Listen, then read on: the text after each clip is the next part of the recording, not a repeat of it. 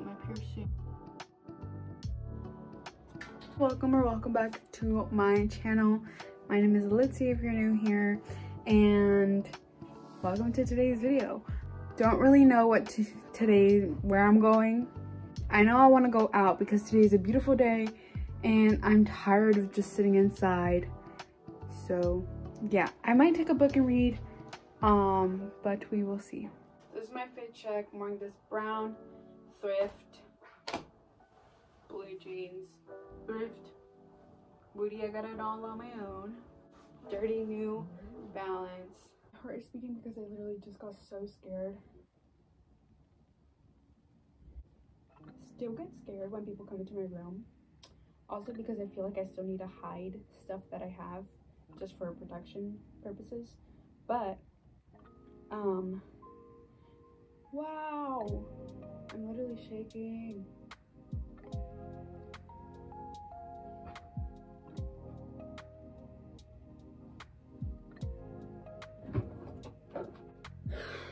Anyways, that is my outfit. This is my hair. I'm gonna put it down once I'm on a bike, but it's just in a little thing. Threw on this, this was my dad's jacket, and I just cuffed this. Drew on some rings. I'm gonna put out my piercing, and we're ready to go. Now let's go. I have to pee, but now let's go. Boys.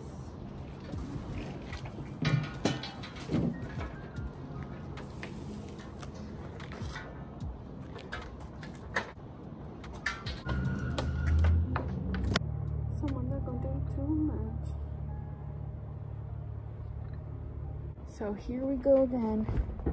Still need to buy tripod. It feels so good to get out. I said this in the last video, but I love winter. Um, I don't know if I might have cut it out or not, but I love winter. I love the cold. It makes me feel so good. So I am a, like a winter baby, so I feel like that is also just in tune with like my season, if that makes sense. Like I just naturally am attracted to the cold. Don't know where I'm gonna go. I might just go around. We'll see. Around town. I feel like we've just been so conditioned to be like on the go constantly that because I already am doing what I love and living in that it's like I want more things to do but also I know that's because I'm barely starting my life, if that makes sense. So I feel like it's not even like, it's not a good or a bad thing. It's just kind of mid. The sun feels so good. As I'm riding my bike right now, I'm like, I keep looking at myself in the camera and I'm just like, I'm exactly who I want to be. I'm literally exactly the person that my self like a few years back was like I want to be them. I want to live my life the way that I'm living my life right now. Like I want to go out whenever I want to go out and you know, do what I want to do. And I feel like for so long I was like kind of dreading becoming the person that I wanted to be for the same reason that I was so used to the person who I was. And another thing that I've realized is that I'm like reliving the exact cycle that I experienced twice already. One time being the first time I ever experienced it and giving it another chance. The second time being that, giving it a second chance and then being like, hold on, I don't deserve to be treated like this. Knowing that I'm letting go of all this and accepting that and a lot of people talk about like, oh, you have to let go of like your past self or your old self but they never talk about how hard it can be. I'm not gonna say it's hard because I feel like if you really want something to leave out of your life, you can make it happen like that. Just as quick as you can manifest like anything, like, you know? But not a lot of people talk about how hard it can be when your ego or your old self is still like trying to hold on to a past version of yourself, but you within yourself, your conscious self, your higher self, is like, let's go. Like, let's fucking go. This is how we're gonna do it. I already got a plan. So, yeah. Also, like, life is just so good and so at ease, which is another thing that goes into this, into like being getting comfortable with the uncomfortable, the uncomfortable being the abundance of peace and serenity. Oh my god, there is some. Oh my god, this tree, this house, whoa. Okay. There's some grapefruits, but I don't know if they're ready. I got some grapefruits from the tree.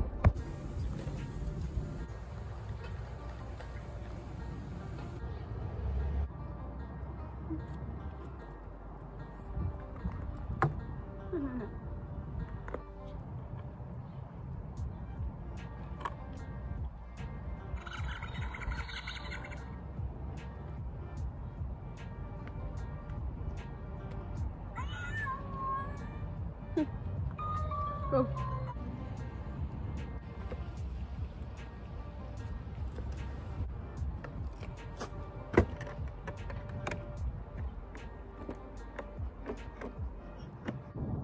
I'm at the park now. And these are the grapefruits that I got. I have another one. Same person that I saw biking, it was like this guy. He looks like a teenager. But he's here as well. So that is so funny how we were both biking, we saw each other, and now we're both at the same place. Oh my gosh. All the crows are just passing by right now.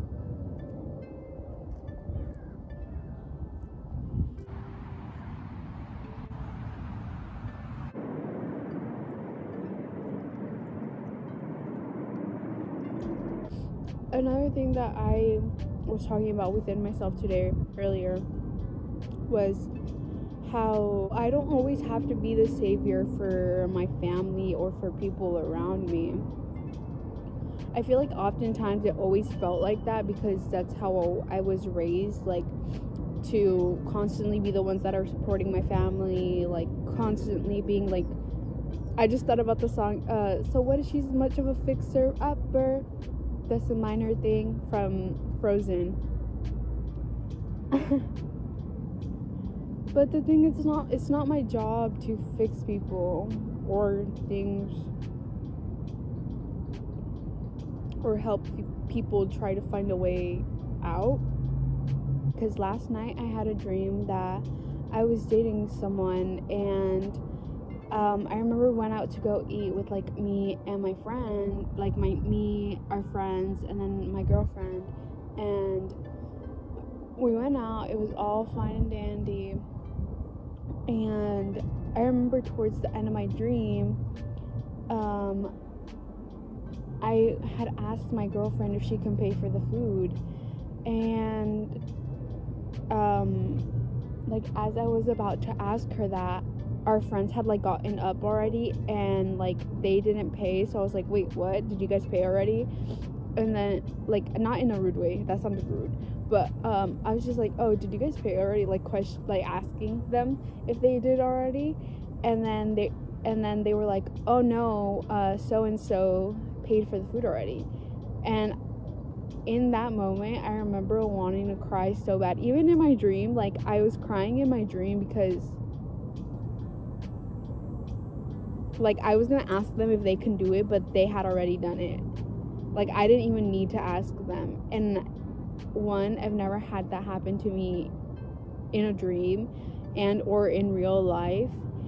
And it was just so it was so like whoa. like it felt good to be taken care of in that way if that makes sense and not necessarily like financially because it's not me showing up for people constantly anymore. It's like other like i can be taken care of. I can you know other people can come into my life and stuff like that. It's not it's not like i'm the one that has to be there for everyone 24 7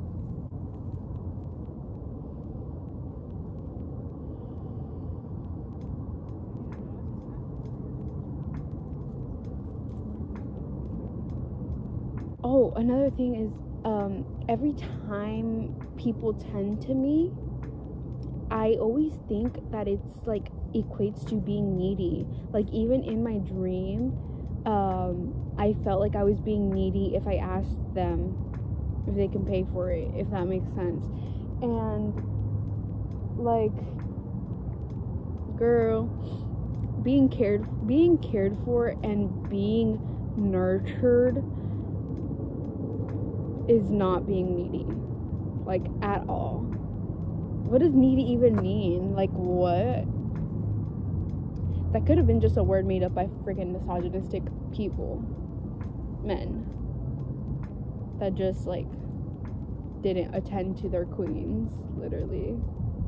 But anyways yeah i always think about the song because i could be needy and i think that's also just like a self-reflection part where it's like um where it's like I don't want to bother people. And I feel a lot of people actually experience this where they're like yeah I want to I want to do this or I need I need to ask for this from my partner or my person or, or my friends or family but I don't want them I don't want them to think I'm being needy. And that always falls back to the perception that people have of us like and their perception of us being more important than what we think of ourselves and what we need for ourselves, which is a whole different thing. But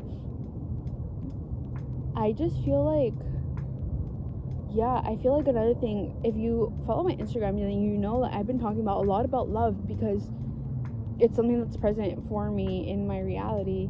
And there's so many like wounds that come up from it. And that I didn't even know because yes I do have self-love yes I love myself and yes like I'm, I'm tapped into my divine feminine. Um, but self-love I actually saw a video about this as well self-love and self-care like self-nurturing within yourself does not equate to the love that you experience with a community or with a significant other or multiple people or it doesn't equate to that same like love that you experience as a whole with community. We naturally are com- people of community, like, you know, especially if you like come from like ancestral backgrounds. Like, every time like I'm dancing in my room or something like that, like, that is community because I'm not dancing with just myself. I'm da- I'm literally dancing with my ancestors, with my elders, with like all those divine people who came before me and yeah they may not be here physically but energetically like you can feel the vibrations when you're tapped in. But yeah it's not a constant feeling of their presence. Like they can be here but you don't always feel their presence if that makes sense or we're not always like awakened to their presence especially if you live like by the society norm.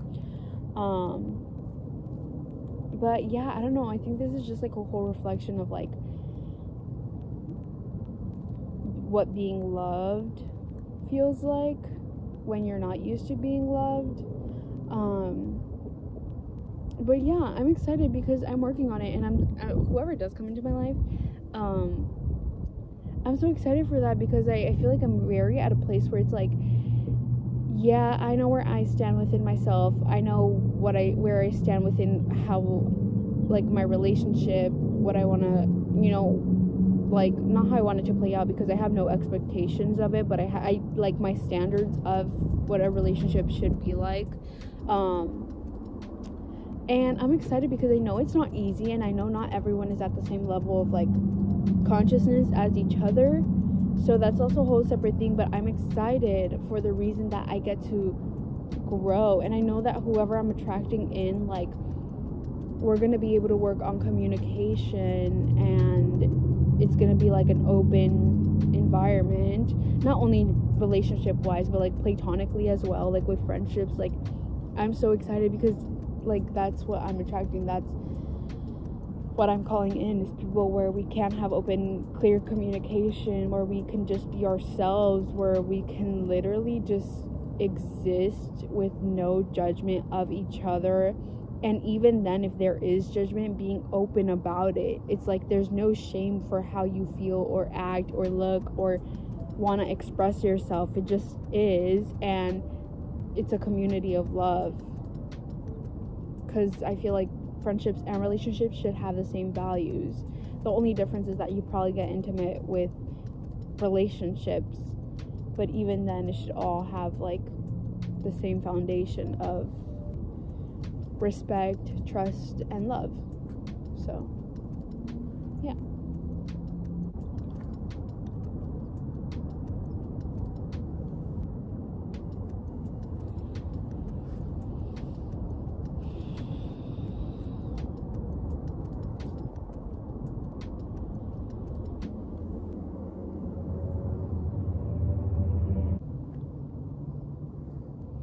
but it's also having compassion for that past self of